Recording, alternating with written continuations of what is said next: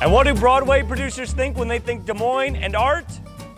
They think of a place where record setting crowds from across the country show up to see world class theater. And that's why That's right, you name it, Des Moines got it. But if you ask anyone who's never been here, our city is probably not the first place they would think about when it comes to art, culture, or food.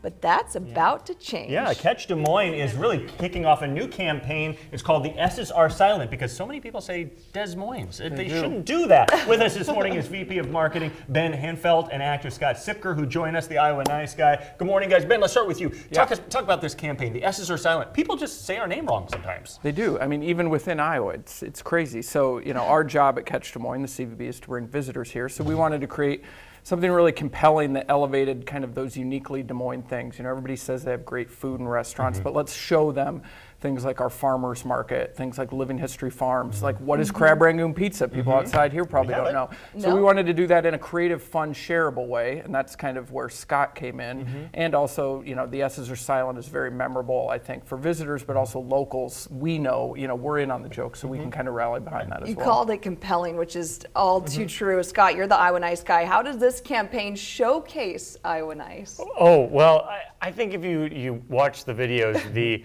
the tone of them is one that uh, is hopefully shows us not being too cocky. Mm-hmm. I mean, we have the greatest city in the world here. Of course we do. Uh, I mean, but we I'm- but try not we're to be gonna- too boastful. That's right. We want to be humble about it.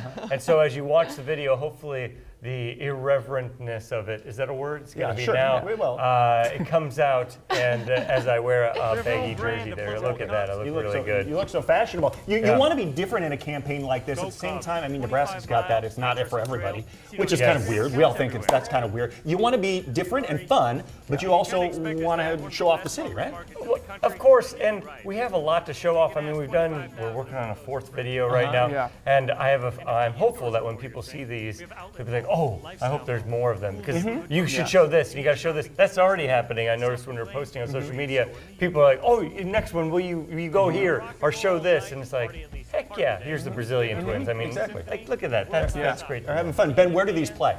These uh, videos, where will we see them? Uh, these videos, uh, right now, there's kind of a big social push here locally, just because we want that local uh-huh. swell of support, so they can go to catchdesmoines.com slash videos mm-hmm.